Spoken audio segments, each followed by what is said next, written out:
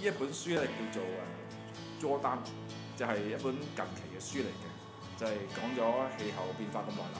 其實最緊要咧，知道點樣 how 去減碳一個低碳生活。呢本書咧就係誒綜合咗全球唔同嘅一個策略，乜嘢招數係最能夠喺未來日子最有效咁樣能夠幫助誒、我哋人類去減碳嘅。當中一樣咧就係、叫大家咧係珍惜食物，